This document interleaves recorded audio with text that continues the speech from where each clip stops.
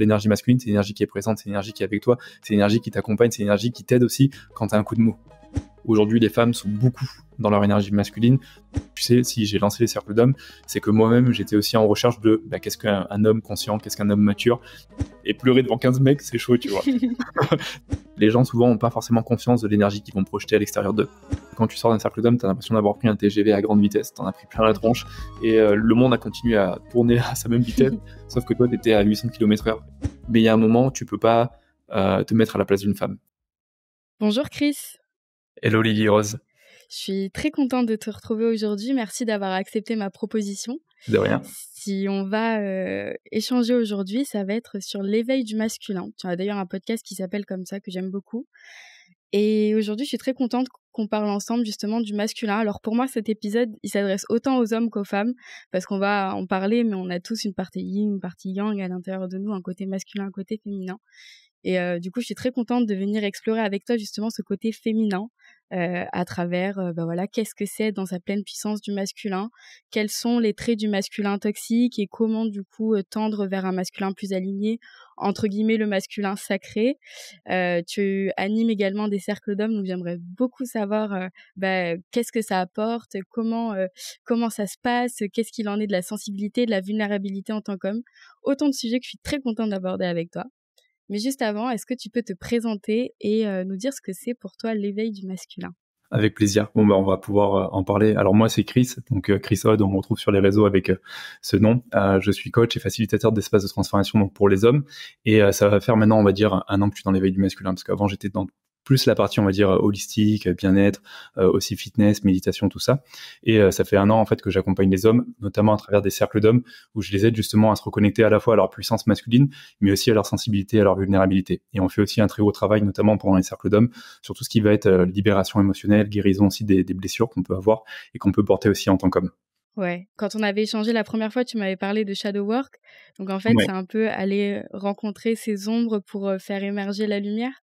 C'est tout à fait ça. En fait, c'est, euh, tu vois, par shadow work, j'entends euh, men's work. Finalement, c'est tout ce qui va être le travail de, de l'ombre. Et c'est comment aussi aujourd'hui, en tant qu'homme, on est capable bah, de s'observer, de voir un petit peu ces zones d'ombre qui, qu'on a tendance à, à refouler, qu'on a tendance à pas assumer. Tu peux avoir par exemple le côté euh, provocateur, prédateur, manipulateur, et c'est jamais très loin. C'est des choses qui infusent énormément en fait dans nos relations, dans nos projets. Et euh, c'est comment je peux euh, les assumer, les reconnaître, les accepter d'une certaine façon. ça veut pas dire m'en déresponsabiliser et me dire je suis un provocateur et bon bah je reste comme ça, tu vois.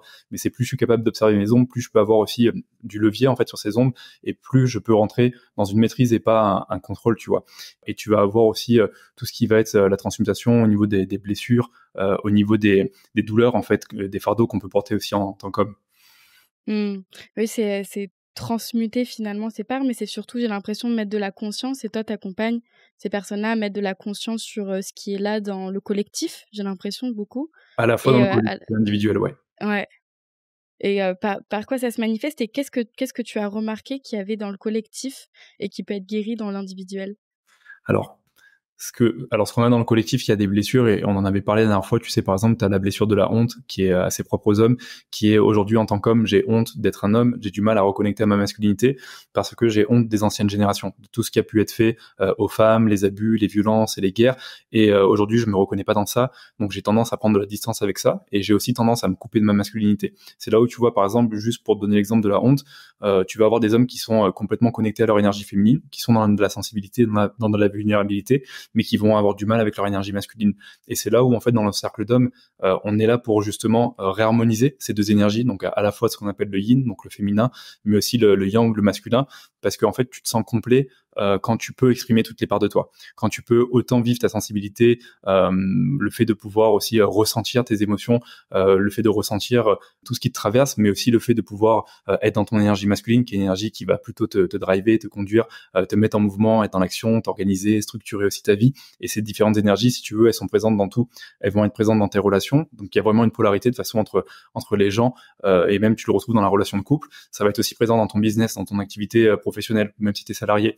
Euh, tu as besoin de ton côté euh, créatif, inspiré, euh, passionné, ton côté plutôt réceptif, donc plutôt féminin yin, mais tu as aussi besoin de ton côté plus masculin pour te donner de l'énergie, te mettre en mouvement, pour aussi prendre des décisions, prendre des initiatives.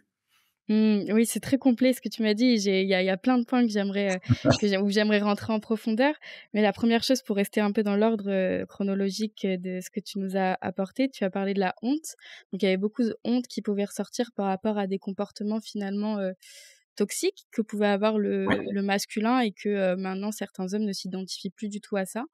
Quels, sont, quels sont ces traits du, masculin toxique. Tu nous as donné quelques archétypes, mais est-ce que tu peux peut-être rentrer un peu plus en profondeur là-dessus? Ouais, ben, t'en as énormément. Par exemple, les traits de, la masculinité toxique, ça va être euh, l'ultra compétition, le fait d'être euh, hyper compétitif, mais pas être compétitif pour euh, par exemple, tu vois, se développer et puis euh, euh, se découvrir, mais plus être compétitif pour écraser l'autre, dominer l'autre, pour montrer que ben c'est nous le, le, le, plus fort et c'est nous qui, qui, prenons toute la place. tu peux avoir tout ce qui va être la soumission. par exemple, un trait de masculinité toxique dans un rapport, par exemple entre hommes et femmes, c'est le fait de faire taire à la femme ses ressentis et ses émotions. Parce que moi, en tant qu'homme, j'ai du mal à les vivre, j'ai du mal à les accepter et je pars du principe que je suis pas câblé émotion, donc c'est un truc que tu vois que je renferme à l'intérieur de moi à partir de ce principe-là, je vais euh, l'emprisonner aussi chez ma partenaire. C'est-à-dire que dès qu'elle va exprimer ses émotions, je vais soit euh, la traiter euh, d'hystérique ou lui dire mais t'es bien une femme, tu vois ce genre de choses. Et tout ça, c'est des conditionnements, c'est des comportements en fait qui sont toxiques et qui sont lourds en fait à porter aussi pour les hommes parce que bah nous, ça nous ça nous met en, distance par rapport à cette vulnérabilité, cette sensibilité qu'on a, tu vois. Mais ça crée aussi de la d'inertie et de la friction en fait dans les rapports humains.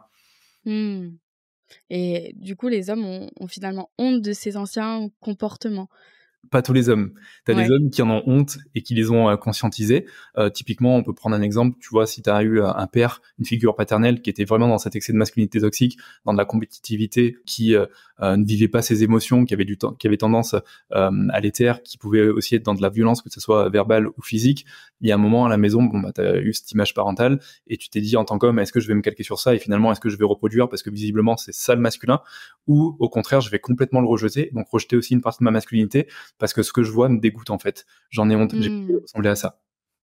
Ouais. Donc du coup, finalement aussi, on va, on va, on veut pas tomber dans quelque chose, mais du coup, il y a une part de soi qu'on est en train de rejeter.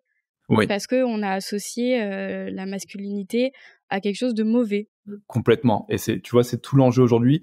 C'est euh, comment je peux réintégrer des traits euh, sains de masculinité, c'est-à-dire que la compétition, c'est pas essentiellement mauvais. Il y a aussi des bonnes choses, tu vois, dans la compétition. C'est-à-dire que ça me permet de me découvrir, ça me permet de dépasser mes, résistances, ça me permet de, de gagner aussi en confiance en moi. Donc, comment, par exemple, ce trait de compétition, je suis capable de le réintégrer de manière euh, plus juste à l'intérieur de moi. Mmh. Et euh, bah, comment tendre vers justement ce, ce masculin plus aligné? Et finalement, qu'est-ce que c'est on a parlé de qu'est-ce que c'était le masculin toxique et certains de ses traits, mais finalement, qu'est-ce que c'est un masculin qui est dans sa pleine puissance, qui est aligné, qui est bien on en parle beaucoup. Avec ces deux euh, polarités. avec ces deux polarités. Moi, je fais un gros travail avec ce qu'on appelle les archétypes du masculin. Tu sais, dans les archétypes, tu as le roi, tu as le guerrier, tu as l'amant, tu as le magicien. Et en fait, chaque archétype a une polarité, donc euh, yin et yang, donc féminine et masculine. Et en fait, l'archétype est dans sa pleine puissance quand il accepte justement son côté yin, mais quand il accepte aussi son côté euh, plus, plus masculin, tu vois. Donc, par exemple, je vais être un guerrier dans sa pleine puissance quand je vais être capable de reconnaître mon côté compétitif, ma force, ma vigueur, le fait de pouvoir passer à l'action. Mais quand je suis aussi capable de reconnaître mon côté beaucoup plus sensible, quand je suis capable ben, de m'incliner face à la vie, quand il y a des épreuves, quand je suis capable aussi d'être vulnérable et de, demander de l'aide sur le champ de bataille, notamment, tu vois, mais à mes camarades pour euh, avancer, tu vois, pour conquérir quelque chose. Donc c'est, euh, moi je le vois beaucoup à ce niveau-là, c'est comment ces différents euh, côtés, en fait, je peux les harmoniser, mais surtout je peux les exprimer pour revenir dans une forme de, puissance et dans une forme de souveraineté personnelle. Mmh. Oui, c'est en fait c'est prendre le meilleur des, des, deux, euh, des deux côtés, quoi, du féminin, du masculin, c'est-à-dire être fort, mais tout en étant sensible, sachant que la sensibilité n'enlève en rien la force. Et demain, tu vois, si on prend un, image, une image d'un homme, euh, avoir un homme qui euh, exprime sa force, sa vigueur, mais qui à la fois exprime sa vulnérabilité et n'en a pas honte et l'assume complètement, c'est hyper beau, c'est hyper positif et c'est hyper sain dans les relations. Mmh. Comment débute ce chemin Quelles sont les premières étapes que tu remarques chez un homme qui a cette prise de conscience qu'il n'est pas aligné aux valeurs du masculin, en tout cas qu'on lui a transmis, et qui aimerait tendre vers quelque chose, ben, un, masculin dans sa pleine puissance dont on peut parler là, qui est puissant, fort, mais à la fois sensible, à l'écoute, empathique. Voilà, quels, quels sont les premiers petits pas qu'il peut faire? Parce que voilà, on, on, en a parlé la dernière fois quand on préparait l'épisode, mais changer une habitude, c'est pas facile. Et voilà, quels sont les premiers petits pas qu'il peut faire? Je pense que ça commence par une éveil personnel déjà euh, chez soi.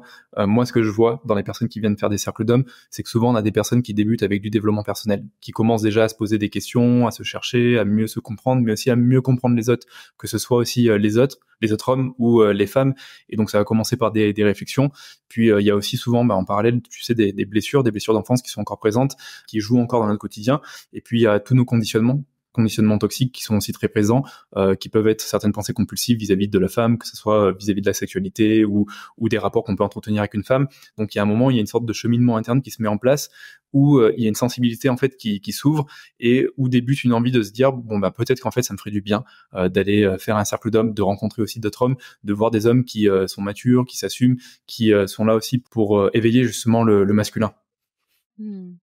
Ouais, donc ce sont des personnes la plupart du temps qui ont déjà entrepris un travail et personnel, ouais, complètement. et qui se questionnent. J'imagine aussi que le couple, ça doit, ça doit aussi être un moteur à changement ou une envie en tout cas de se dépasser ou d'être plus aligné avec sa compagne, non? Tu viens parfaitement au bon endroit parce que moi ça a été tu sais ça a été le déclic c'est-à-dire que c'est vraiment le couple qui m'a amené sur ce chemin c'est euh, au bout tu vois de plusieurs années en fait de couple euh, et de tensions de problèmes que ça soit au niveau de la communication dans l'intimité dans la sexualité où au début je me disais bah tout ça c'est pas pour moi j'ai pas forcément envie de me remettre en question. Puis au bout d'un moment j'ai commencé à souffrir de certaines situations et j'ai commencé à faire du développement personnel. Et quand j'ai commencé à faire trop de développement personnel à faire un peu ma boulimie j'ai commencé à tomber dans un excès de féminité à me féminiser énormément. Et dans mon couple c'était c'est bien tu fais du dev perso mais il est où l'homme tu vois? Il est où le Chris aussi que j'ai connu au, début avec ses attributs euh, masculin. Donc il y a eu ce moment où euh, je me suis dit ça va être important, tu vois, d'aller m'expérimenter, d'aller voir euh, à l'extérieur, peut-être de faire des, retraites, des séminaires, d'aller aussi me cultiver par rapport au masculin, parce qu'aujourd'hui tu as beaucoup d'ouvrages qui sont écrits par rapport au masculin. Je sais qu'en France c'est pas forcément encore très développé, ça allait plus en Australie, au Portugal ou aux États-Unis, mais c'est en train de venir. Donc tu vois, il y a vraiment ce mouvement personnel, les remises en question qu'on peut avoir, et je trouve qu'aujourd'hui le couple c'est aussi un élément déclencheur. Et je sais que pour beaucoup d'hommes qui viennent dans cercle d'hommes, en général, 50% du temps, c'est euh, leur femme qui les a inscrits ou qui leur a proposé de faire un cercle d'hommes. C'est une réalité, tu vois. Et moi, je trouve ça génial parce que en soi, bah, les femmes sont toujours euh, investigatrices de quelque chose et ont la sensibilité pour savoir aussi ce qui est parfois, en tout cas, bon pour leur partenaire, tu vois. Mmh. Ouais. Après cette, euh, cette période où tu as eu ta boulimie justement et où tu étais justement plus dans ton énergie féminine, je pense que c'est aussi une belle expérience dans le sens où ça t'a permis aussi de d'expérimenter une polarité plus extrême. Et en fait, après, c'est juste un équilibre qui se crée. C'est complètement ça. Et je le dis souvent dans les cercles d'hommes, c'est que tu as besoin de te chercher. Et il y a un moment où, par exemple, tu vas être dans un excès de masculinité et euh, tu vas revenir un petit peu de tout ça et tu vas commencer à t'ouvrir à des choses beaucoup plus euh, douces, beaucoup plus euh, spirituelles, beaucoup plus sur le côté féminin et tu vas tomber un petit peu dans la polarité féminine en mode plus plus plus. Puis il y a un moment en fait, tu vas retrouver l'équilibre où tu vas revenir justement un petit peu dans ton masculin. Bien sûr, si tu entreprends un travail sur toi. Moi, j'ai un exemple concret, c'est que j'avais eu un, un, homme en cercle d'hommes qui était plutôt dans l'archétype de l'homme enfant, qui avait du mal à se responsabiliser, à prendre des initiatives dans son couple et qui avait du mal à s'affirmer, à prendre sa place. Et il y a ce moment où vraiment il est sorti de l'immersion et il était presque en excès de masculinité, même si on avait fait un beau travail, où c'était euh, maintenant je vais prendre ma place, je vais m'imposer, je vais prendre des décisions, je vais lui dire c'est comme ça et pas autrement. Et en fait, il a eu, euh, pour, te, pour être transparent avec toi, il a même quitté euh, sa conjointe. et c'est là où je dis dans le cercle d'hommes, attention, faut pas prendre de décisions radicales, il faut prendre un temps d'intégration pour mmh. prendre des décisions surtout qui sont matures, matures et pas radicales. Et derrière, en fait, si tu veux, après quelques semaines, il est revenu à lui, à lui, une fois qu'il a pu exprimer un peu cette polarité à l'extrême, et il a compris qu'il y avait des choses qui n'étaient pas forcément encore très justes, mais qu'en effet, le fait de s'affirmer plus, de prendre des décisions dans son couple, ça a apporté aussi du bon. Et c'est ce qui lui a permis de trouver un équilibre entre, ok, j'ai mon côté féminin, j'ai mon côté yin, il est bien présent et je l'assume, tant mieux. Maintenant, je peux aller vers une énergie masculine qui est aussi bien mais pas à l'excès, parce que quand c'est à l'excès, j'ai tendance à prendre une position ascendante, j'ai tendance à dominer mmh. l'autre et aussi à me couper de mes ressentis et à me couper, en fait, à créer une séparation au niveau de la relation. Mais j'aime beaucoup l'exemple que tu as, que as proposé parce qu'on sent vraiment euh, justement ce masculin qui est euh, un peu dans je m'impose quoi et ce qui ce qui peut être bien parce que voilà des fois euh, même pour une femme on a besoin de s'imposer de trancher de s'affirmer etc mais on sent que ça manque un peu peut-être de féminité parce que la féminité va apporter de la rondeur de la douceur de voilà on va pas y aller comme un gros bourrin quoi. Complètement. Je suis d'accord avec toi. Et euh, toi est-ce que tu as tu as d'autres expériences comme ça où tu tu sentais qu'à des moments tu t'étais vraiment dans ton masculin et du coup, qu'est-ce qui te manquait peut-être à ce moment-là? Et à l'inverse, quand tu sentais que tu étais trop dans ton féminin, qu'est-ce qui te dit là, il me manque des choses et euh, mmh. certaines capacités?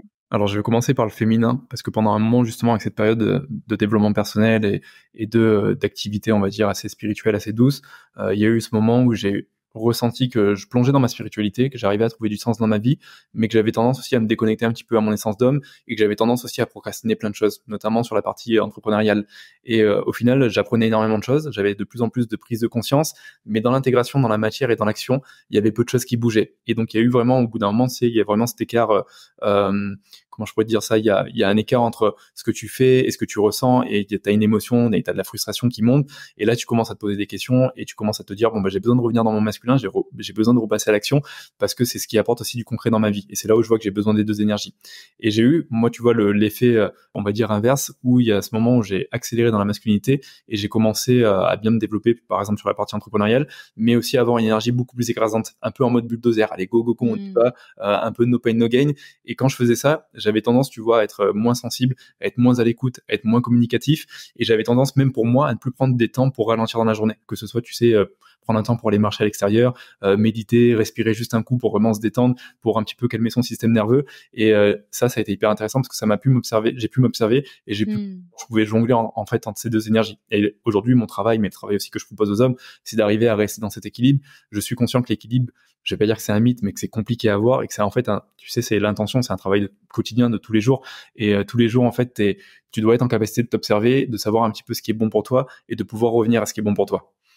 Mmh, oui, puis après, tu as eu la chance de, d'avoir expérimenté à la première personne finalement euh, ces, ces, deux polarités, ce qui fait sans doute qu'aujourd'hui tu les connais bien et que tu capable d'apporter, d'apporter des, des choses à mettre en place. Et quand tu étais justement peut-être dans cet excès de féminité, tu as dit donc que c'était voilà me remettre peut-être à l'action, en mouvement. À ce moment-là, qu'est-ce qui t'a aidé? Est-ce que par exemple le sport, ça t'a permis de te, reconnecter à ta, ta masculinité? Quelles sont les choses que tu as mises en place pour petit à petit retourner vers ce masculin? C'est une bonne question, tu vois. Alors pour moi, le sport non, parce que j'ai toujours été très sportif, et donc c'est comme une, une habitude qui est bien ancrée, mais qui aujourd'hui apporte pas un bonus euh, peut-être si je vais faire un sport de combat, ça va travailler ma combativité et mon masculin. Mm. Mais moi, c'était plus au niveau, pas physique finalement, mais plus au niveau du mental. Comment j'étais capable de développer ma force mentale, tu vois. Comment j'étais capable d'être résilient et que malgré le fait que par moment, bah, je suis un peu malade, je suis un petit peu fatigué ou que j'ai envie de procrastiner, comment je suis capable de m'engager dans quelque chose, d'avoir une direction et, d'y aller. Mm. J'aime beaucoup, euh, tu parles d'engagement. C'est euh, avant tout un engagement envers soi, j'imagine de toute façon, ça commence, euh, ça commence toujours par soi. Il y a un engagement envers soi. Et puis, tu vois, pour en, pour en revenir à la relation de couple, euh, aujourd'hui, on le voit, il y a beaucoup d'hommes qui ont des difficultés à s'engager et être dans leur posture masculine qui est présente, qui arrive à être soutenante, qui arrive à être rassurante, à l'écoute et qui arrive aussi à s'engager dans le couple. Et c'est là où on voit, tu vois, que l'énergie masculine, elle a du bon pour ça parce que l'énergie masculine, c'est l'énergie qui est présente, c'est l'énergie qui est avec toi, c'est l'énergie qui t'accompagne, c'est l'énergie qui t'aide aussi quand tu as un coup de mou. Mmh. Ouais, c'est c'est donc on a on a c'était bien parce qu'au début on a parlé justement du masculin dans sa pleine puissance, on va dire quand tu es seul et pour toi et avec toi-même, mais là c'est dans la relation en quoi être dans ma force, dans mon masculin, dans la relation peut aider l'autre? Donc tu l'as dit, dans le couple, c'est finalement être dans sa pleine puissance du masculin, c'est soutenir, pouvoir être à l'écoute sans peut-être euh, c'est vrai qu'on a on a l'image du masculin qui veut apporter plein de solutions et tout alors que des fois juste écouter en fait. c'est quoi? Ça c'est un vrai problème et euh, je l'ai vécu avec ma chérie qui me disait euh, c'est à chaque fois que j'ai un petit coup de mou tout de suite tu veux me donner des solutions alors que c'est pas ce que je recherche. Là j'ai besoin d'une présence. J'ai besoin d'être enveloppé. J'ai besoin de revenir à moi. J'ai besoin de, de refaire du, du, calme autour de moi. Et tout de suite tu, tu cherches des solutions alors que finalement ça ça crée de l'anxiété chez moi. Et c'est quelque chose qui est mmh. assez propre au masculin, là où le masculin, on est très mental, un peu moins dans le ressenti, un peu moins dans le cœur et dans le corps, où on va tout de suite chercher des solutions, parce que le masculin, le masculin en fait, il est problème solver. C'est-à-dire que dès qu'il y a un problème, il doit trouver une solution pour pouvoir avancer. Mmh. Oui, alors que parfois, la femme, elle a juste besoin d'empathie, en fait. Et c'est, ça va être juste de reconnaître l'émotion. Ah bah là, ma, ma chérie, t'es vraiment triste, sans dire, ah mais on peut faire ci, on peut faire ça, viens, on va là-bas. Non, je vais pleurer, c'est tout. c'est complètement ça. Et pour revenir sur la question que je t'ai posée tout à l'heure, donc tu nous as expliqué un peu quand tu étais dans ta masculinité, qu'est-ce qui t'a permis, non, quand tu étais dans ta féminité, qu'est-ce qui t'a permis de voilà remettre un peu du masculin et retrouver un, un équilibre. À l'inverse, quand tu étais dans des excès de, de masculin, qu'est-ce qui t'a permis de rééquilibrer justement avec et revenir dans cet équilibre? Très honnêtement, c'est, tu vois, c'est très bête, mais c'est vraiment le fait de ralentir. Euh, et par euh, féminin, j'attends pas forcément euh, passivité. L'excès de féminin amène à une forme de passivité, tu procrastines et puis tu prends plus de décisions. Mais le fait de, ralentir, de revenir à soi et d'avoir des pratiques, moi je suis très branché à biohacking, que ce soit tu vois méditation, respiration, le fait de faire du grounding dans une forêt ou sur la plage et, et, de profiter de l'énergie, tu sais, qui se dégage de, de cette atmosphère, c'est quelque chose qui te permet de reconnecter aussi au corps et aussi au cœur. Et c'est vrai que des fois le masculin, on est un petit peu trop dans le mental, on est un petit peu trop dans la tête avec toutes les solutions qu'on a envie de trouver.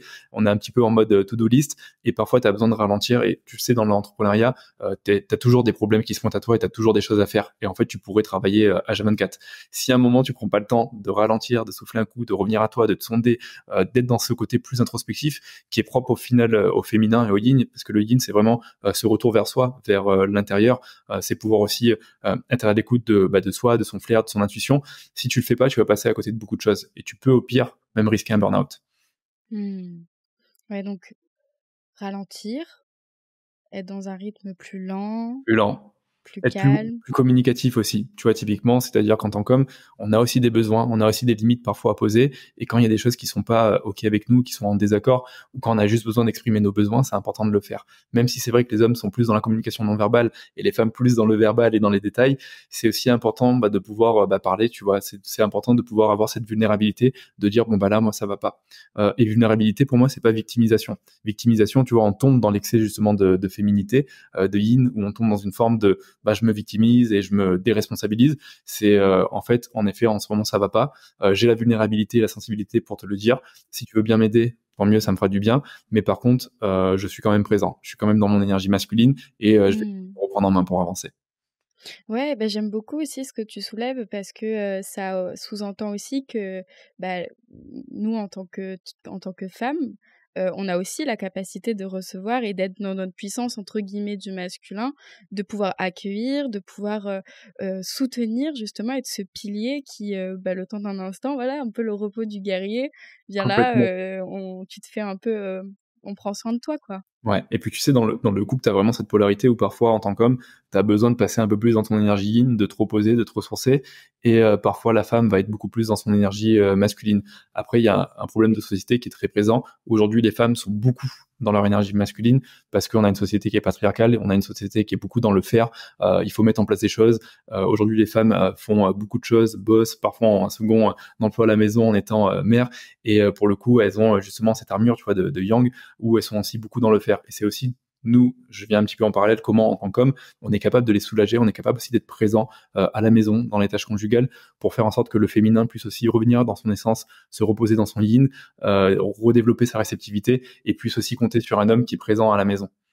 Ouais, bah merci beaucoup de l'apporter parce que euh, oui, c'est vrai que des fois, enfin en tout cas, j'ai pas envie de mettre la société parce que c'est un peu pointé du doigt une entité un peu euh, inconnue au bataillon, mais j'ai remarqué que certaines femmes, en tout cas, peuvent se protéger, être dans la surprotection et avoir, être une armure en fait, et du coup ne pas être connectées à leur sensibilité. Donc forcément, c'est vrai que dans la relation de couple, ça doit être un peu euh, un combat armure contre armure, quoi, finalement. Complètement. Moi, tu vois, c'est quelque chose que j'ai vécu dans mon couple. C'est-à-dire qu'au début, on était euh, deux énergies yang. Euh, j'étais avec une femme qui était euh, très indépendante, qui euh, qui avait pas forcément envie que je l'aide pour euh, X raisons. Et donc parfois moi dans mes besoins d'homme ben, il y avait un moment où je me sentais pas forcément euh, utile. Parfois même je me sentais un petit peu émasculé. Et on était souvent dans la confrontation. Parce qu'en fait quand tu as deux grosses énergies yang à la maison ça va être rapport de force confrontation. Et quand tu as de grosses énergies yin à la maison c'est l'inverse. Ça va être passivité. On prend plus de décisions. Un petit peu on se laisse vivre. On se laisse tu vois. La barque de la vie et on voit où la vie nous mène tu vois. Là, avec de l'air comme ça avec de l'air et de l'eau et c'est là où on voit à quel point en fait où euh, c'est important cette polarité au sein du couple, mais c'est vrai que tu vois ce, ce côté euh, polarité où euh, je donne l'espace à ma femme, à ma chérie de reconnecter aussi à son essence et d'enlever son, armure parce que ça me permet moi aussi d'accéder, d'accéder à sa vulnérabilité et à sa sensibilité. ça va me nourrir moi en tant qu'homme et moi le fait de prendre ma place d'homme au sein de la relation de couple, ça va la nourrir elle aussi en tant que femme. Mmh. Après, il y a un problème aujourd'hui de société hein, qui est très fort, euh, qui est très présent. C'est que, tu vois, je parlais de la blessure de la honte collective, euh, qui est complètement euh, reliée euh, bah, à toutes les souffrances, tous les abus que les femmes aujourd'hui euh, ont eu pendant des générations et des générations, ce qui fait qu'aujourd'hui, bah, les femmes ont du mal aussi à faire confiance au masculin. Ont du mal à être réceptives ou être vulnérables par peur qu'on leur prenne qu'on leur prenne encore quelque chose, par peur qu'on abuse d'elles. Donc il y a un travail en fait en miroir des deux côtés. Mmh. Comment moi en tant qu'homme, je peux être présent, mais je peux être rassurant et je peux montrer que je suis dans une énergie euh, où je donne et que je suis pas là pour donner et prendre quelque chose en retour, un petit peu comme un prédateur ou un manipulateur. Et euh, comment en tant que femme, je peux apprendre à refaire confiance à l'homme, euh, voir aussi ses belles qualités, me dire bon bah, c'est pas grave s'il est pas parfait parce que bah, je j'attends pas qu'il soit parfait, mais tu vois, redévelopper cette réceptivité et arriver aussi euh, bah, à lâcher prise et euh, à être dans cette confiance au niveau de la relation. Ouais, bah finalement, j'ai l'impression, pour reprendre l'image des deux armures, c'est comme si chacun, petit à petit, on faisait tomber, euh, ok, je pose l'épée, là je vais poser le bouclier, c'est bon, je suis pas en danger, on doit tâter le terrain au fur et à mesure. parce qu'avec le temps, l'armure est rouille, elle est trop lourde à porter, et il y a un moment où tu te sens bloqué en fait dans cette armure. Mmh et euh, ça t'amène justement à une forme d'excès de masculinité justement où tu es vraiment dans la rigidité, dans du contrôle, mais euh, tu vas tout contrôler, tes émotions, ce que tu vas dire, et euh, tu as besoin de cette essence fine, tu as besoin de cette féminité, tu as besoin de cette mmh. douceur, tu as besoin de ça. Vous, ce qui vous a aidé, c'est la communication? La communication, le fait d'avoir, je vais pas dire des ultimatums, mais des moments un petit peu des, moments bloquants en fait dans la relation de couple où on est arrivé euh, face à des murs, où on avait l'impression qu'il y avait un problème de compatibilité. Euh, elle, elle était euh, très impatiente, facilement agacée, très go go go. Moi, j'étais de nature plutôt posée. Moi, je suis plutôt, tu vois, Capricorne, ascendant Poisson, Lune en Vierge. Elle, elle est en mode, elle est, je, je, le dépose là parce que ça me fait rire à chaque fois. Elle est Bélier, ascendant Lion, Lune en Sagittaire, donc c'est du feu, feu, feu, feu. Et donc il y a un moment, ça nous faisait travailler au point de dire, mais en fait, on n'est pas compatible, on n'est pas fait l'un pour l'autre. Et il y a ce moment où on n'a pas voulu croire à ça parce qu'il y avait tellement d'amour, euh, il y avait aussi tellement de compréhension et puis on était aussi unifiés par euh, la vie, mmh. L'entrepreneuriat, euh, les choses un peu plus difficiles que c'est là où on s'est on s'est intéressé en fait à la philosophie du Tao et on a vu qu'en fait c'était aussi un jeu de polarité et qu'il y avait des clés et que en fonction des polarités qu'on allait développer dans notre couple et des essences respectives qu'on allait respecter des besoins de chacun mais aussi des limites, on allait retrouver une forme de fluidité tant dans la communication que l'intimité et la sexualité. Après c'est pas une formule magique, hein, c'est quelque chose qui prend du temps, ça demande d'être présent, ça demande d'être engagé, ça demande d'être à l'écoute de l'autre, ça demande de pouvoir se remettre aussi en question. Donc c'est un, un, gros travail quand même. Oui, c'est à deux dans tous les cas. Euh, il n'y en a pas que un qui peut être le moteur de, du couple. Ça c'est Complètement. Mais si tu es seul moteur du couple, il y a un moment où tu t'épuises. On aime bien avoir cette image dans le sens que tu vois, as, par exemple, la femme est en blanc, l'homme est en violet. Si la femme change sa couleur et qu'elle devient euh, noire, euh, le mix, l'unité du couple, euh, va changer de couleur naturellement. Mm. C'est vrai que si on est deux à changer de couleur, ça va aller beaucoup plus vite. Donc mm. euh, après, c'est important, tu sais, dans le, dans le couple, tu as beaucoup de, de, jeux de pouvoir qui se mettent en place. Euh, faut éviter en effet les jeux de pouvoir où je me mets en sauveur, l'autre il est en mode sauvé, où je me mets en bourreau ou persécuteur et l'autre il est en mode victime. Donc c'est aussi en fait avoir euh, une métacognition au niveau du couple, pouvoir euh, s'observer, voir un petit peu les jeux de pouvoir et les insécurités qui ressortent et euh, avoir cette sensibilité, cette vulnérabilité de se dire bon ben ok on n'est pas parfait, mais il y a plein de zones qu'on peut explorer, peut-être via de la mm. thérapie, peut-être via des retraites, peut-être via des cercles de femmes ou d'hommes pour grandir dans notre masculin et dans notre féminité et pour apporter aussi plus d'harmonie dans notre couple. Ouais, ouais, puis il y a le, les miroirs aussi, l'effet miroir qui est des fois un peu violent, quoi. on se dit ah bon, mais moi j'ai ça moi? Complètement. Donc c'est super. Et aussi, je, je, suis d'accord avec toi, le fait que chacun chemine aussi de son côté individuellement et personnellement, forcément, ça va apporter à soi, mais forcément à l'entité du couple. Ouais, complètement.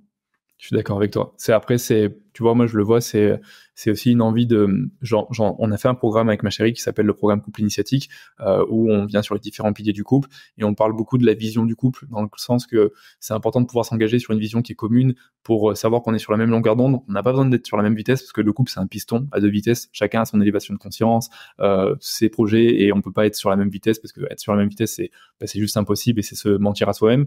Mais il y a un moment c'est important qu'on se rejoigne en fait quand même sur une vision sur des projets sur des aspirations et quand il y a un moment où c'est compliqué quand ça va pas dans le couple, c'est ma capacité à me reconnecter à cette vision et savoir ben, pourquoi on est ensemble, pourquoi on fait les choses et arrêter de regarder juste à mon niveau et de vouloir en mode, tu vois, tirer la couette et me dire, c'est ta faute, euh, tu aurais dû faire ça, je suis dégoûté, tu viens de me blesser une fois de plus sur ma blessure de, l'abandon ou du rejet. Mmh. Oui, c'est remettre du sens sur ce qui se passe aussi. Ouais, complètement. Remettre du sens.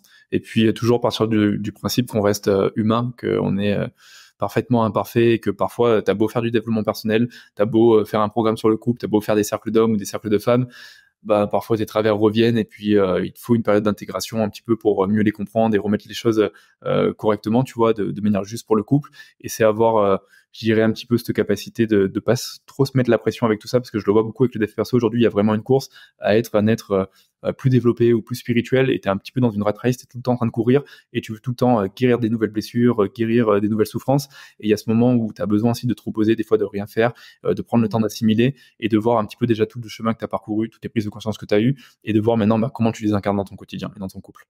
Oui, bah là, je pense que c'est l'archétype d'une personne qui serait tombée dans son excès de, de masculin, non? À, Avoir pris un peu le, le dev perso comme euh, bah, qui, a, qui, a, projeté en fait euh, plein de choses sur le dev perso et du coup, c'est ce qui euh, il court pour. mais sauf que tout, toute notre vie, en fait, on, on pourrait avoir des guérir des blessures, nettoyer ses énergies. Enfin, juste nos blessures on à nous. On pourrait faire que ça de notre vie, hein, franchement. Faire que ça, juste sur nos blessures et puis quand tu penses à toutes les blessures transgénérationnelles, tout ce qui va être porté, les euh, les guerres ou les abus qu'ont vécu euh, nos parents, nos grands-parents, nos, arrière-grands-parents. Euh, le collectif. Beaucoup de choses, le collectif justement. Donc ça demande, tu vois, de, bah, ça demande de, prendre du temps, d'intégrer tout ça et de pas être dans cette course, tu vois, d'être aussi dans l'écoute de soi. Ok, c'est c'est super. Il y a un sujet aussi que je voulais aborder avec toi dans, dans cet épisode, c'est par rapport au cercle d'hommes au cercle d'hommes que tu que tu animes puisque voilà le sujet c'est quand même l'éveil du masculin donc euh, voilà re-rentrons un petit peu dans cette dans le vif du sujet. Euh, je voulais savoir finalement qu'est-ce que c'est? Parce qu'il y a j'imagine qu'il y a plein d'hommes ou plein de femmes qui connaissent pas le cercle d'hommes. Finalement qu'est-ce que c'est? Et, euh, et, pourquoi elle est un cercle d'hommes? Qu'est-ce qui, s'y passe? C'est une très bonne question. Alors, cercle d'hommes, ça peut être, en fait, ça peut être plein de choses. Ça pourrait être un cercle de parole sur une thématique, peut-être euh, la parentalité, la sexualité. Euh, et entre hommes, on va parler bah, de nous, de nos blessures justement à ce niveau, s'il y a eu des abus, s'il y a eu de la violence, et on va être juste dans la parole et juste dans l'échange et être dans justement cette écoute active, cette présence, sans forcément rentrer dans du coaching, de vouloir se conseiller et de vouloir vouloir se faire bouger les uns les autres. Et moi, ce que je développe, tu peux aller beaucoup plus loin, où tu peux avoir en fait des formats plus immersifs, plus en forme de, retraite, où là, c'est faire vivre des expériences aux hommes. Euh, moi, c'est un petit peu mon data. Donc, typiquement, quand on fait un cercle d'hommes avec moi, euh, moi, je vais euh, utiliser le breathwork, donc tout ce qui va être respiration, pour tout ce qui est libération émotionnelle. On va avoir ce qu'on appelle des cercles de sincérité radicale, où là, on se met vraiment à nu, et là, on est pour on est là pour se dire des choses qui peuvent être dures, mais des choses qu'on voit en fait chez l'un et chez l'autre, justement toutes ces zones d'ombre, ce côté un peu manipulateur, ce côté un peu provocateur, où on est là pour se mettre à nu, mais on est là aussi pour bouger énergétiquement. Et parfois, on a besoin d'entendre des choses qui sont hyper déplaisantes, hyper désagréables, mais qui vont nous aider justement à, bouger, à nous remettre en question. Ça peut être aussi, tu vois, des bains glacés. Moi, je sais que je fais beaucoup de, de Wim Hof. J'aime amener les hommes dans l'exposition froid parce qu'on va travailler l'archétype du guerrier, on va se recentrer, on va revenir dans le corps, on va renforcer le lien corps-esprit et on va revenir dans cette présence et dans cette capacité à se dépasser et aussi à se découvrir à travers les éléments, comme la glace.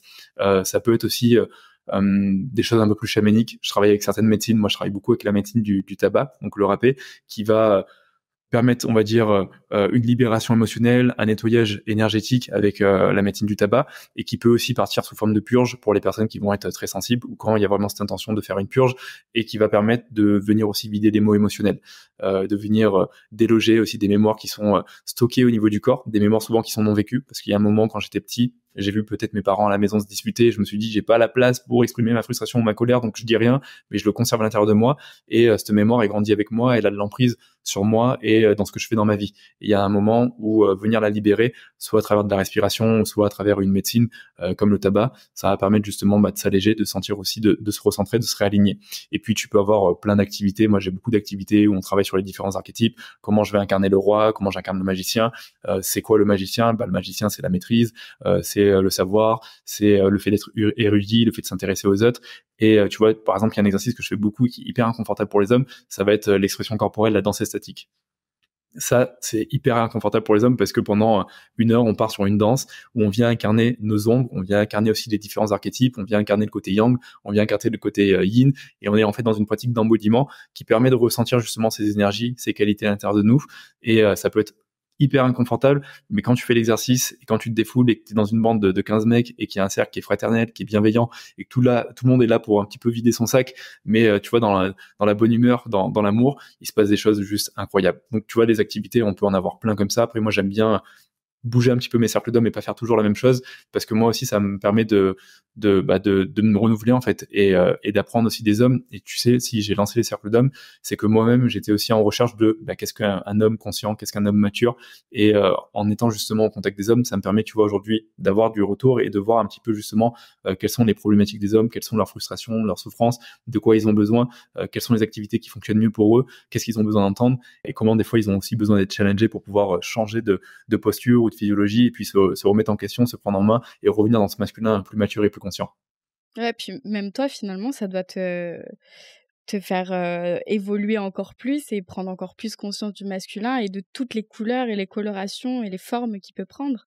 Complètement. Et tu vois, par exemple, quand tu dis couleur et, coloration, ne serait-ce que les archétypes, je en donne quatre principaux, mais il y en a plein. T'as plein, t'as l'enfant insouciant, euh, t'as l'archétype de Peter Pan, t'as plein d'archétypes différents, et ça permet, quand tu es dans un cercle d'hommes, de voir justement tous ces archétypes et toutes les facettes de l'homme. Et ce qui va être beau, c'est de pouvoir, bah, en fait, toutes les vivre, cette ces facettes-là. C'est-à-dire que cet enfant qui est rieur et qui est à l'intérieur de moi, il y a à ce moment, où j'arrête de le condamner. Je lui laisse aussi de la place, il a besoin de s'exprimer parce que c'est mon âme d'enfant et parce que ça me fait du bien et que ça apporte du peps dans mon quotidien, tu vois. Euh, Et parfois, tu vas le voir sur un homme quand il arrive en début d'immersion, il va être assez, euh, tu sais, assez grisonnant, euh, un peu malheureux, un peu triste. Il se demande presque euh, qu'est-ce qu'il fait là, tu vois. Et au bout d'un moment, tu vas le faire bouger par les activités, tu vas un peu le challenger et puis tu vas voir euh, l'enfant rieur un petit peu se pointer et puis quand tu vois l'enfant prieur se pointer tu rentres dedans et là tu voilà tu dévoiles le truc et tu l'aides en fait à se reconnecter à cette partie là cette partie qui est présente depuis tout, toujours en fait et qui lui permet de bah, de s'assumer mais de, de l'exprimer et de, de sentir aussi beaucoup plus complet c'est génial. Donc en fait, tu vas venir explorer toutes les facettes du masculin. Donc tu as parlé de l'enfant. Tu vas as parlé donc euh, du roi. C'est quoi, par exemple? Quelles, quelles, sont les différentes facettes qui vont venir explorer? Le roi, par exemple, tu sais, c'est tout ce qui est propre euh, à la souveraineté, euh, au leadership, au fait d'avoir une vision, euh, au fait de prendre sa place, de porter sa voix, de porter sa parole, au fait de prendre des décisions, des décisions parfois qui sont difficiles à prendre mais qui sont importantes, le fait d'avoir des conversations désagréables avec des gens qu'on aime. Moi, c'est un exercice que je fais beaucoup dans le cercle d'hommes. C'est, il y a un moment, arrête de procrastiner ces conversations parce qu'elles sont importantes. Peut-être que c'est envers ton père, envers ta mère, envers tes enfants, envers ta femme, envers euh, ton employeur ou envers un associé, mais à ce moment où tu as besoin d'aller exprimer euh, ce qui te convient pas, besoin d'exprimer ton désaccord. Et quand tu le fais, tu le fais dans une énergie mature, tu le fais avec douceur, mais avec affirmation. T'es pas là pour écraser l'autre, mais tu es là aussi pour être vraiment euh, bien ancré, bien dans ton axe, tu es là aussi pour dire les choses parce que ça te permet de libérer quelque chose que, que tu portes en fait comme un poids peut-être au niveau justement de, de, la gorge ou au niveau du cœur et euh, ça c'est un exercice de souveraineté.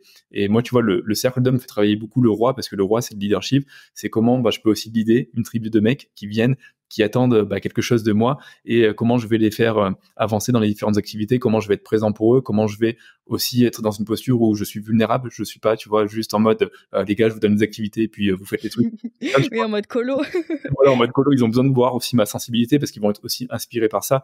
Donc moi, ça me fait beaucoup travailler sur le roi, mais dans les différentes postures, tu peux avoir l'amant et l'amant, ça va être plus au niveau de leur relation à soi, au niveau du couple, mais ça va être aussi au niveau de mes passions, de ma créativité, de mon inspiration, ça va être ma capacité euh, de, m'engager, tu vois, par exemple, dans mon couple. Donc, il y a toutes ces notions, en fait, qui infusent à travers les archétypes. Et c'est comment, une fois de plus, je viens de les intégrer de manière mature à l'intérieur de moi, dans leur énergie yin et dans leur énergie masculine. Oui, bah c'était c'était justement ma question parce que du coup j'ai l'impression que c'est quand même beaucoup d'exercices où on va aller dans le yang, ou aller dans le masculin. Bon après c'est les cercles d'hommes donc bon il y a un peu la réponse dans le titre mais euh, j'imagine que vous allez forcément explorer aussi des parties euh, sensibles, féminines. Comment est-ce que tu ressens les hommes? Est-ce qu'ils sont à l'aise avec ça? Qu'est-ce qui les aide peut-être à, ce que ce soit plus confortable pour eux? Très bonne question parce que tout dépend en fait des hommes qui vont venir et ils sont tous très différents. C'est-à-dire que tu peux avoir un homme qui est un peu justement en mode alpha, en mode masculinité un peu toxique, un peu écrasant. Et lui, le challenge, ça va de reconnecter à sa douceur, de reconnecter à sa sensibilité, vulnérabilité. Donc dans les moments où on va être par exemple sur du breathwork, de la libération émotionnelle, où il y a ce moment où tu n'es plus dans ton cortex préfrontal, donc dans ton mental, mais dans ton système limbique, et que tu te sens hyper vulnérable et que tu te mets à pleurer, lui, ça va être une sorte totale de zone de confort parce que ben il a besoin de sa position de, gros dur et pleurer devant 15 mecs, c'est chaud, tu vois. ça, c'est un exemple. Mais par exemple, euh, on fait aussi par exemple la confrontation avec le match de boxe, euh, et pour des hommes qui vont être très sensibles, euh, mais qui refoulent aussi beaucoup leurs émotions parce que il faut le dire, dans les hommes qui sont très sensibles et dans leur côté féminin, ils ont parfois du mal à trouver leur place entre j'ai du mal à connecter à ma masculinité, mais j'ai peur de connecter à ma féminité parce que j'ai peur de passer pour un, pour un fragile et j'ai peur d'être jugé par les autres hommes. Donc, euh, je trouve que c'est la pire des positions parce qu'en fait, t'es entre les deux et t'as du mal à explorer tes polarités. Tu te, en fait, c'est, quand même un peu une cocotte minute qui, conserve tout l'intérieur de soi, qui se permet pas de, d'exprimer sa sensibilité, mais aussi sa force d'homme. Et pour eux, tu vois, quand on vient sur le match de boxe, mettre des gants, et euh, donner des, des, coups de poing, euh, incarner l'archétype du guerrier, mettre de l'intensité dans leur regard, s'affirmer, prendre leur place, c'est hyper challengeant. Parce que là, on est sur de la masculinité euh, un peu testostérone, et revenir dans cette masculinité testostérone, ça peut être déroutant pour certains hommes. Et en même temps, ils ont besoin de ça, ils ont besoin de passer par ça, parce que derrière, en fait, on, on vient travailler sur des, des notions comme la, scène colère, la scène violence. En tant qu'homme, on a de la colère, on a des émotions à l'intérieur de nous qui sont pas forcément exprimées, il y a de la violence, et il y a un moment, il faut le faire dans un endroit. Il faut pas le faire dans la relation de couple ou avec ses enfants, et c'est là où le cercle d'homme, il est approprié pour ça, c'est qu'on va le faire dans un endroit où euh, il y a de l'amour, où il y a des hommes qui sont vraiment bienveillants, euh, qui sont là pour se soutenir. Et donc, c'est l'endroit le plus idéal pour le faire. Et pour eux, tu vas prendre des points et juste taper, ça peut faire exploser des émotions et ça peut être euh, hyper libérateur. Waouh. Ouais, ça a l'air, ça a l'air, ça a l'air super puissant et et on ressent bien que en fait, on va venir, enfin, lors des cercles d'hommes, vous allez venir explorer voilà, il y a ça qui est possible. Et tu peux te, en fait, c'est des, ouais, c'est se reconnecter à une forme d'énergie, même si après, par exemple, quelqu'un de, un homme très sensible, j'imagine, va pas repartir en mode gros dur euh, avec euh, avec des points tout serrés, etc. Mais juste, il aura le temps d'un instant permis de reconnecter à une part en lui et euh, se dire ok je, je suis sensible mais j'ai aussi je suis fort en fait j'ai de la force j'ai de la vigueur et en fait tu vois ça va pas se matérialiser tout de suite physiquement ça va bouger mmh. énergétiquement et après, avec le temps et comment il va continuer à cultiver ça et comment il va l'intégrer euh, en dehors du cercle d'hommes, c'est euh, bah, revenir justement à lui et la matérialiser. Et tu vois, j'ai des personnes qui sont très sensibles et qui à la fin, bah, en fait, partent en mode, bah, je vais faire un sport de combat parce que ça va me permettre d'exprimer bah, toute la souffrance que j'ai à l'intérieur de moi, mais peut-être via un art martial, ça va me permettre de la discipliner et d'avoir une maîtrise et pas d'aller la recanaliser sur une personne que j'aime euh, là où c'est pas, tu vois ce que je veux dire, c'est complètement absurde en mmh. fait. Donc c'est même, tu vois, toutes ces notions, comment en fait je les réintègre, mais comment je viens les canaliser sainement euh, et qu'est-ce que j'en fais en fait derrière. Ouais. Ouais, puis donc tu l'as dit aussi dans les cercles d'hommes, il y a c'est un cadre, c'est un espace d'amour et de confiance, de fraternité. tu as dit aussi que vous dites les choses, donc il y a aussi ça passe aussi par la parole. Énormément. Quels sont les, le genre de choses que qu'on peut se dire sans rentrer trop dans l'intimité ou de d'une personne précise, mais ça peut être des choses qui sont très, euh, comment dire, très inconfortables à entendre. On a eu euh, en mars dernier un cercle d'hommes euh, et on avait un homme qui était présent et on sentait une énergie. si tu veux, donc quand on fait le cercle d'hommes, on se connecte vraiment en participant et on voit un petit peu ce qui dégage. Les gens souvent n'ont pas forcément confiance de l'énergie qu'ils vont projeter à l'extérieur d'eux. Et cet homme avait une énergie très libidineuse. Ça se sentait, tu vois. Et il y a ce moment où tu le prends de quatre yeux en fait et tu lui dis mais en fait t'es, t'es, c'est pas un jugement en fait, c'est une information que tu lui donnes. Euh, je vais pas donner de nom, mais euh, voilà, je vais donner un nom hein, qui n'est pas un, vrai nom. Euh, Martin, euh, t'es hyper libidineux. T'étonnes pas si aujourd'hui les femmes elles ont du mal à connecter avec toi, si tu leur fais peur et si elles sont insécurisées.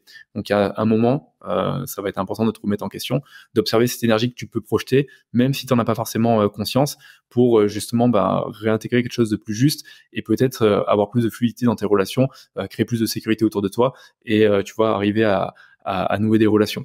Et ça, quand tu leur dis, c'est très dur parce que parfois ils en ont pas conscience. C'est-à-dire que toi, tu le captes dans l'énergie, tu le vois, et parce que parfois, euh, ne serait-ce que sur la communication non verbale ou sur leur façon d'être, ça se lit. Et euh, juste de leur déposer, des fois, ils vont te dire ah non, je vois pas de quoi tu parles, et pourtant. Euh, et pourtant, il y a bien quelque chose. Et après, on va rentrer dans le cercle d'hommes, ça va revenir. Et puis, dans certaines activités, il y a des choses qui vont se libérer parce que une fois que en fait tu l'as conscientisé et que ça a été déposé, tu es à même de travailler dessus. Et après, à la fin du cercle d'hommes, ils reviennent te voir, ils te disent bon, faut que je te dise un truc, c'est vrai, tu as raison. Et maintenant que t'en parles, en effet, je le vois. Et là, j'ai eu euh, telle relation, il s'est passé ça, j'ai ça, j'ai ça. Et c'est mmh. là où, tu vois, ça peut être dur, mais en même temps, c'est là pour les faire bouger, bouger dans le bon sens, tu vois. Donc, euh, c'est un exemple. T'as plein, plein d'autres exemples, tu vois. Mais euh, c'est des choses qui sont hyper désagréables à dire. Et c'est ça aussi, être un leader, tu vois, en tant qu'homme, c'est avoir cette capacité, dans l'amour, de dire des choses qui sont désagréables pour faire bouger les autres. C'est pas juste brosser dans le poil du sens, parce qu'on n'est pas juste là pour se faire des câlins dans un cercle d'hommes ou juste faire du bain glacé et se dire c'est cool, on est entre hommes, on tisse un bon lien. On est là aussi pour se dire des choses qui sont pas forcément euh, cool, qui font parfois du mal à entendre. Bien sûr, on fait toujours attention que la personne elle ait la sensibilité pour euh, l'accueillir. Tu vas pas le faire à une personne qui, euh, je sais pas, prend des antidépresseurs et sous politique est très mal dans sa vie et au plus bas. Tu vas pas aller lui dire ce genre de choses. Donc nous, on jauge vraiment déjà si la personne elle peut l'accueillir, si elle a la force et la stabilité émotionnelle pour le recevoir et pour travailler sur ça. Oui, puis il y a une manière, dans tous les cas, j'imagine, de le dire. Ça va pas être hyper frontal. Ça veut dire, voilà, j'ai ressenti ça. Voilà, après, j'imagine, c'est que tu invites la personne à prendre si elle veut prendre et à prendre pas si elle veut pas prendre. Mais au moins, le message, il a été envoyé, quoi. C'est ça. Et sur le moment, on lui dit, c'est pas un jugement que j'aimais. C'est pas, c'est pas, euh, je te trouve comme ça. C'est ce que je perçois dans ton énergie. C'est ce que tu dégages. Ça m'a fait ressentir ça et euh, je perçois ça. Je te le dépose là. T'en fais ce que tu veux. Ça tombe au bon endroit, tant mieux. Ça tombe pas au bon endroit, c'est pas grave je peux me tromper. Des fois, je peux euh, euh, percevoir quelque chose. C'est pas forcément euh, hyper juste, mais dans tous les cas, je sais que ça va faire bouger quelque chose. Mmh. Et donc dans le cercle, c'est chaque homme va venir exprimer quelque chose sur quelqu'un et on va faire un tour complet? Oui, on va faire un tour complet. Et en fait, si tu veux, quand on fait des cercles de sincérité radicale, c'est des choses qui prennent pas juste 10 minutes. Hein. ça peut prendre bah ou 4 heures, ça peut être très long. Il y a plein d'exercices différents. Et il y a un exercice qu'on fait qui est assez déroutant où en fait, on va prendre une quinzaine de mots parce qu'on est 15 hommes et on va marquer des qualités euh, qui sont hyper négatives, euh, par exemple prédateur, manipulateur, euh, asexué, que les trucs qui sont très durs et en fait on va le mélanger et chaque homme va tirer un mot et chaque homme dans le cercle va voir à qui il a envie de donner ce mot parce que celui oh. ça ressemble plus à l'autre qu'à lui. Et je peux te promettre que quand tu fais cet exercice, déjà c'est hyper inconfortable de donner un mot à une autre personne que tu as reçu, par exemple le violeur, c'est hyper déroutant. Et euh, quand l'autre regarde le mot que tu, euh, que tu lui donnes et qu'il te regarde dans les yeux, il est en mode euh, Ah ouais, t'as choisi moi parmi les 15 mecs? Et là, il se pose des questions. Donc, tu vois, il faut quand même s'accrocher. Et, les mecs qui viennent dans cercle ah, ils sont quand même briefés. On a un appel avant, ils savent en quoi ils se lancent. Et puis, une fois de plus, c'est fait en fonction de la sensibilité du rythme de chacun. Mais on n'est pas là forcément que pour.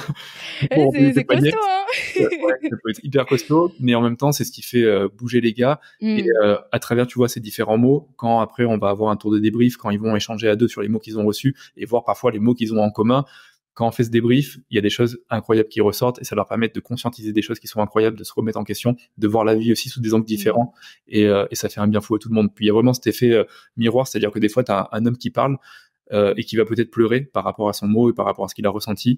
Et en fait, il va pleuvoir sur tous les hommes autour du cercle. Hmm. Ils vont recevoir, ils vont se retrouver dedans, pas forcément, mais ça va éveiller des choses chez eux et c'est hyper puissant. Oui, puis de toute façon, en soi, c'est, voilà, c'est, ça peut être dur, mais c'est pas comme s'il y avait un acharnement sur une seule personne. C'est que tout le monde y passe, quoi. c'est que tout le monde y passe dans tous les cas. Donc, euh, en plus, ça, ça doit aussi créer, j'imagine, des liens très forts. Euh. Enfin, voilà. Il y a des liens qui sont hyper puissants. Tu bah vis, sur 2, 3, 4 jours des choses que tu vis même pas forcément avec des proches, c'est-à-dire que tu vas vivre euh, des bains glacés, des libérations émotionnelles, des cercles de sincérité mmh. radicale et plein d'autres exercices et pratiques qui fait que tu tisses des liens qui sont hyper puissants. Et à la fin, tu vois, je le dis au début, c'est on arrive, c'est un peu la couleur de vacances, on se connaît pas trop, on se jauge, et à la fin, on repart, c'est vraiment, euh, c'est une grande famille, tu vois, les liens, ils sont hyper puissants. Et moi, je le vois parce mmh. qu'après, j'ai des cercles d'intégration et euh, j'ai des groupes qui sont dédiés au cercle d'hommes et je vois le contact que les hommes ont et je vois que j'ai des hommes qui sont de, partout, hein. j'en ai de, Suisse, du Canada, de Belgique, de France, et ils arrivent à se faire des rencontres, à se faire des rendez-vous, à faire des activités ensemble. Donc je vois un petit peu le, lien qui tissé, à quel point c'est puissant et c'est durable dans le temps. Ouais, ouais, c'est vrai, ça a l'air, ça a l'air très puissant.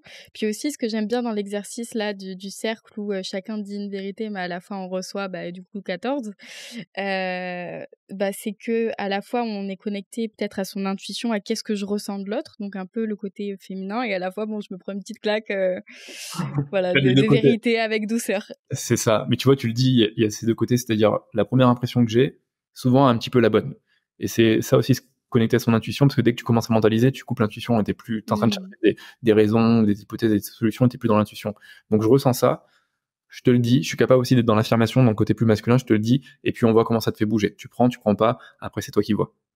Ouais, ouais, donc en fait, finalement, les cercles d'hommes, ça, ça permet d'aller explorer son masculin, mais dans un espace sécure, dans un espace d'amour, dans un espace où, euh, voilà, on est là pour toi, on te soutient, on n'est pas là pour te mettre en difficulté, mais pour t'aider à rayonner et à te nettoyer, quoi. Ouais, et donc parfois pour rayonner, euh, tu as besoin de, de, de, manger des trucs euh, pas trop cool, euh, qui sont hyper inconfortables, ça fait partie aussi du, du process. Mais voilà, les, les, hommes sont, sont au courant et les personnes qui viennent sont à ce niveau où s'ils ont pris, tu vois, leur voiture, ils ont fait 5 ou 8 heures de route pour venir faire un cercle d'hommes, vivre 3-4 jours en mmh. forme avec des activités inconfortables, payer un certain prix pour vivre cette immersion, en général, ils savent dans quoi ils s'engagent et ils aussi à faire le travail. Oui, forcément. Donc, cercle d'hommes, euh, j'imagine que c'est aussi réservé, enfin, c'est que pour les hommes. Est-ce que ça. Que, tu, que pour les hommes, mais. Ouais. tu vois, j'ai souvent ma partenaire qui intervient dans les cercles d'hommes parce que je trouve ça beau de pouvoir mettre aussi le féminin euh, au service de ces espaces. Parce mmh. qu'en tant qu'homme, je vais pouvoir dire plein de choses parce que pendant les cercles de parole, on va parler de tout, on va parler de, de sexualité, de relations de couple, de, de, de, parentalité, de plein de choses. Mais il y a un moment, tu peux pas euh, te mettre à la place d'une femme. Euh, par rapport à ses blessures, par rapport à ses conditionnements, par rapport aux injonctions qu'elle vit. Euh, tu peux pas, t'auras beau avoir appris des choses sur les femmes, t'auras beau être hyper yin ce que tu veux, tu peux pas euh, donner la vision d'une femme. Et c'est là où c'est hyper puissant, je trouve, d'avoir une femme qui se met au service de l'espace et qui peut témoigner à la fois de l'amour que, que, les femmes portent pour les hommes, mais à la fois des blessures qu'elles portent aussi à cause des hommes et, et avoir cette capacité très duel à, à, témoigner de tout ça et aussi accompagner les hommes vers leur guérison et vers leur libération. Donc, et je trouve, tu vois, il y a des femmes aussi qui le font, qui font intervenir des hommes dans leur cercle de femmes parce que bah, quand on va parler de relations de couple ou quand on va parler de sexualité ou quand on va parler des besoins de l'homme et de la femme, bah, c'est top aussi d'avoir la vision masculine et de savoir bah, qu'est-ce qui se passe à l'intérieur d'un homme, pourquoi il y a telle pensée, pourquoi il y a telle envie. Euh, ça permet vraiment de déconstruire beaucoup de choses et d'aller beaucoup plus en profondeur aussi dans les, interactions et dans, les échanges. Mmh. Oui, donc des cercles mixtes, ça, ça permettrait également, je pense, d'aller travailler beaucoup, beaucoup de choses. Ouais, c'est la prochaine étape. Mais je pense que tu vois déjà, on a besoin de pouvoir travailler un petit peu euh, de notre côté, de reconstruire une confiance. Et ne serait-ce que pour un homme, faire un cercle d'hommes, euh, tu as des hommes qui ne font pas confiance au masculin, qui ont du mal à faire confiance euh, aux autres hommes parce que peut-être justement pendant l'enfance ils se sont ils se sont sentis écrasés ou en compétition et ne serait-ce que ça c'est hyper dur de tisser un lien et de refaire confiance aux mecs. J'ai des mecs qui viennent faire que des cercles d'hommes pour juste refaire confiance à des mecs.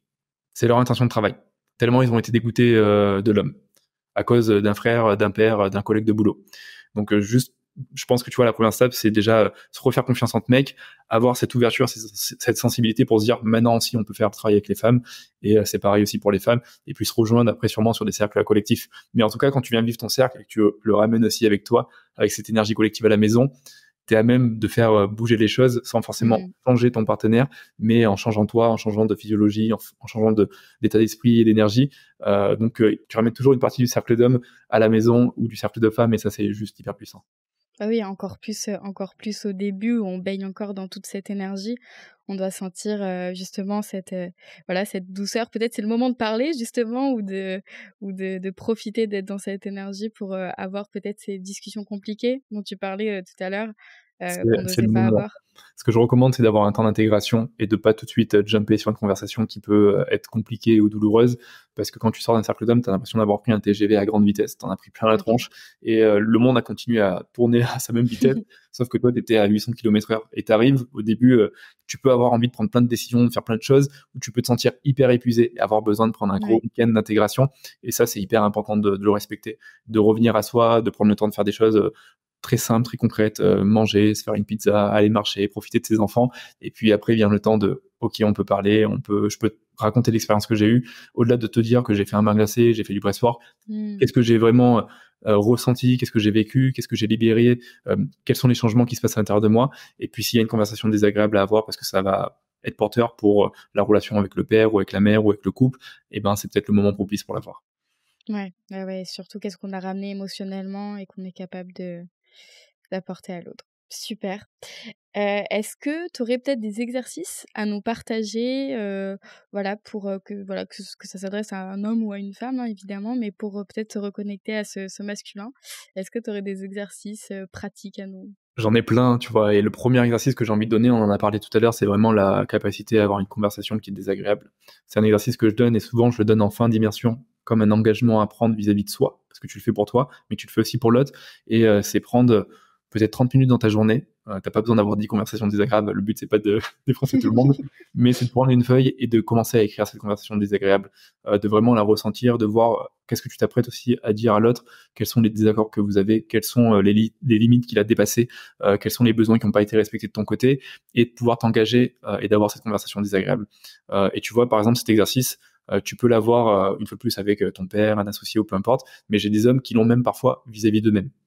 C'est-à-dire que des hommes qui sont dans le déni de certaines choses, qui ont pris deux trois claquonnets pendant le cercle d'hommes et maintenant qui voient les choses et qui sont à même d'avoir cette conversation désagréable avec eux. Et comme tu le sais, le leadership, ça commence avec soi. Comment moi je suis déjà capable de me leader avant de vouloir leader euh, plusieurs personnes. Et une conversation désagréable, ça peut être aussi avec euh, une personne qui n'est plus forcément là, qui euh, avec qui je n'ai pas eu forcément le temps d'exprimer les choses et pourtant ça me tenait à cœur. Et aujourd'hui, c'est quelque chose qui me ronge, c'est un poids pour moi. Et si il y a un moment je le dépose pas quelque part, que je l'écris pas quelque part ou que je le brûle pas au coin d'une cheminée, ça va rester là. Et ne serait-ce que faire l'exercice, hyper libérateur, ça permet de poser des choses, même si t'as pas forcément cette conversation, mais le fait de le matérialiser à l'écrit, ça fait déjà du bien. Et si en plus tu arrives à avoir cette conversation avec la personne, c'est encore mieux et ça va te faire beaucoup bouger parce que tu es dans l'affirmation de toi, ça t'empêche pas de rester dans une forme de, douceur et ça va permettre de créer un espace au niveau de la relation, même si c'est pas agréable à écouter. Ça va permettre euh, à la relation ben, d'évoluer ou peut-être de se finir si c'est une relation qui est toxique et qui n'a plus de sens. Et justement dans le cadre où c'est une relation peut-être qu'on n'a pas envie de reprendre, mais où il y a des certaines choses qui ont besoin d'être dites, est-ce que le faire peut-être de son côté pour pas, renclencher sur une relation et que du coup il y a un quiproquo parce que toi t'es doux, t'es dans l'amour et tu t'es un peu mais t'es ferme etc. Peut-être que l'autre il se dit il y a peut-être moyen du coup qu'on redevienne pote ou qu'il se repasse quelque chose entre nous. Non, c'est quelque chose qu'en fait on peut juste faire de son côté. Et, tu peux faire de ton côté, mais une fois de plus j'aurais tendance à le dire, ah, c'est bien de le déposer à l'autre. C'est-à-dire que dans cette conversation, t'es là pour être doux, pour t'affirmer, mais t'es là aussi pour avoir une forme de fermeté. Euh, c'est-à-dire que euh, c'est là où ça te fait travailler ta qualité masculine, qui est à quel point je suis capable d'apporter un cadre sans emprisonner l'autre, mais euh, ok, je t'aime, tu m'as fait ressentir telle chose, t'as pas respecté cette limite, je me suis ressenti comme ça, euh, je t'en veux pour ça, je suis pas là juste pour te formuler des reproches, mais par contre aujourd'hui mon intention si je t'écris, c'est que ben, j'ai envie d'arrêter cette amitié ou cette relation. Donc c'est, tu vois, c'est, c'est pas facile. Hein. C'est un exercice qui est hyper mmh. déroutant, mais qui est en fait euh, hyper simple. Ça peut sembler un cadeau mal emballé pour l'autre quand il le reçoit, mais ça va le faire bouger et on a besoin chacun individuellement de recevoir des fois des cadeaux mal emballés. Ouais, donc tu, tu parlais d'écrit, c'est un message à envoyer ou quand même c'est peut-être mieux, non, d'avoir, si on peut l'avoir de vive voix, en de vive voix. c'est mieux. c'est beaucoup plus challengeant, c'est beaucoup plus content, mais de vive voix c'est bien. Et si c'est quelque chose qui est difficile parce que, par exemple, je suis dans un rapport avec la personne où je me sens dominé et l'autre est dominant et c'est une personne qui est pas prête à m'écouter, éventuellement envoyer une lettre par la poste, tout simplement, tu vois, euh, que la personne reçoit. Elle prendra le temps sûrement de le lire. Si elle veut pas le lire, bon bah c'est tant pis. Et puis ça sera aussi une forme de réponse. Mais euh, dans tous les cas, tu vas faire cet exercice pour soi. Ok. Parfait, bah, merci pour, euh, pour cet exercice. C'est valable pour les femmes, hein. c'est, je le donne pour les hommes, mais c'est un exercice qui est valable pour tout le monde. Ouais, mais dans tous les cas, comme je l'ai dit au début, je pense que tout ce qu'on a dit tout au long de, de cet épisode, c'est valable en tant qu'homme ou en tant que femme. Et évidemment, on a parlé de couple aussi, mais qu'on soit un couple homosexuel ou peu importe, ça, ça fonctionne également, quoi. C'est euh, et voilà, on avait pris des archétypes pour euh, pas à chaque fois devoir euh, mettre un contexte et tout reformuler, mais voilà, sachez que je pense que toi, tu l'as dit dans cette attention-là aussi. C'est un sujet universel et tu vois, ces énergies euh, féminines, masculines, yin-yang, euh, elles infusent tous euh, à travers nous, que tu sois hétéro, homosexuel, c'est des choses qui sont, c'est des, des, grands principes et en fait, à tout moment, tu peux t'y reconnecter. Mmh. Trop, trop, top qu'on ait fait cette petite parenthèse. Est-ce que tu aimerais rajouter quelque chose avant de clôturer cet épisode? C'est une très bonne question.